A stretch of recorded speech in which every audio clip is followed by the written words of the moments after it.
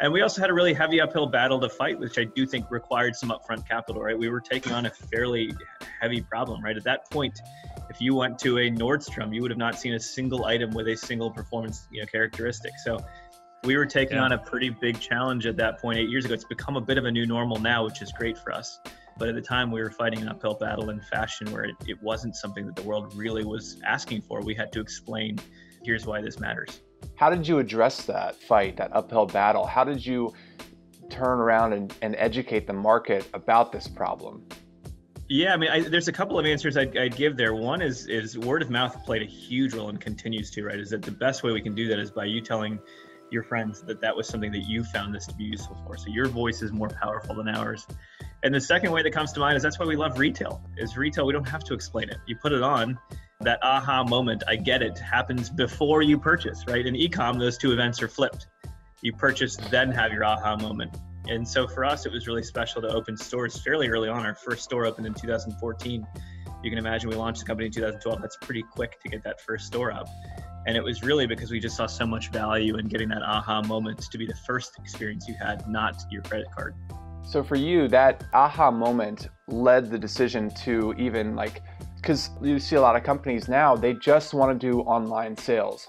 But with you, you knew that with customers trying on your clothing, it would be more beneficial to you as a brand and informative to them as a consumer than just purely an online format.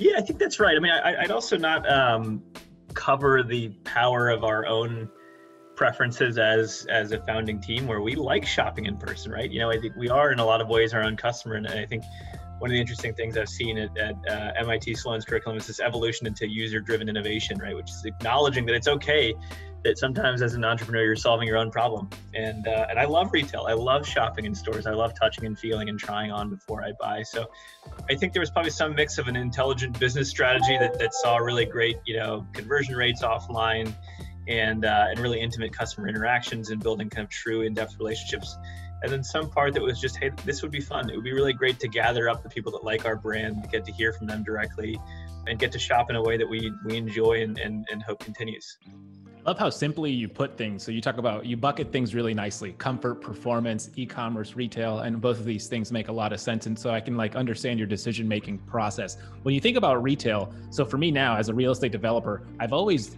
thought that retail at some point will just become nothing more than a marketing exercise for companies unless they own the asset, in which case then you at least have another asset. But in terms of how you view retail post COVID, is it like it's a marketing exercise for you? Is it bringing that aha moment to that specific buyer? And then you have your aha moment on the e-commerce where you have to fulfill both roles? Or how, what's your thought process around that?